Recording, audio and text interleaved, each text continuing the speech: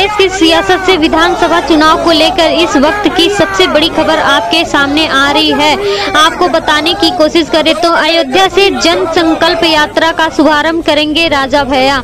UP विधानसभा चुनाव के लिए झोंकेंगे ताकत। आपको बताते चले कि उत्तर प्रदेश विधानसभा चुनाव में अयोध्या से जन संकल्प यात्रा का शुभारंभ कर रघुराज प्रताप सिंह उर्फ़ राजा भैया भी 2022 के विधानसभा चुनाव में ताल ठोकेंगे। 2022 में यूपी विधानसभा चुनाव होने हैं। आगे आपको बता दें कि इसको लेकर अलग अलग पार्टियों ने अपनी तैयारियाँ करना शुरू कर दी है। आपको बताने की कोशिश करें तो प्रतापगढ़ के कुंडा विधानसभा क्षेत्र से विधायक रघुराज प्रताप सिंह उर्फ़ राजा भैया भी अब मंगलवार को अयोध्या से ताल ठोकने जा रहे हैं। जगत टॉक्स की वीडियो सबसे पहले पाने के लिए चैनल को सब्सक्राइब करें और बेल आइकन को ज़रूर दबाएँ।